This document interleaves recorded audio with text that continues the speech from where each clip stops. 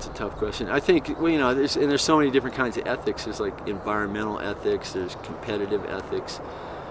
Uh, all that kind of stuff. So, I think from an environmental ethical standpoint, uh, I always try to not um, try try to not hurt the rock as much as you can. You know, because like you know gluing and chipping and stuff like that for me it's just crazy but even just putting bolts in you're changing the thing forever and it's not just your rock you know it's like other people are to have to enjoy this thing and they, and they want to enjoy it so like if you just waltz in and put a bolt ladder in that's probably not too cool because other people are to go dude you know it's like there's a bolt every five feet this is kind of ridiculous um, so I don't know I think you should try to respect the rock that way uh, style, I guess that's probably mostly would refer to your style of ascent.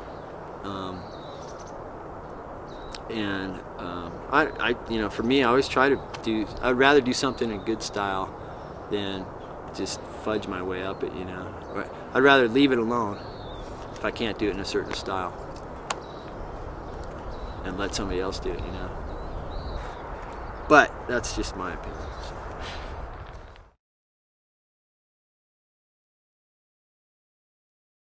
I mean, God, I can't even, some of the stuff that people climb now, I couldn't even imagine, you know, like, I remember I told Sharma about Mandala at the Buttermilks, and uh, i when I first saw that thing, it was like me, Kauk, and John Long were walking by.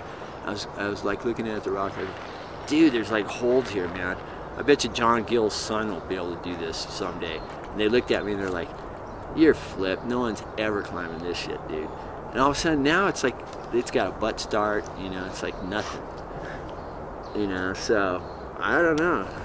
It's hard to say what's going what, how good people are gonna get. But yeah. You know, I, I mean, I used to do sets of five with 100 pounds. I used to do 138 and three quarters on a two arm, and uh, I used to do 12 and a half on a one arm. But yeah, I don't know if I'll ever be able to do anything like that. I don't know how much it helps either.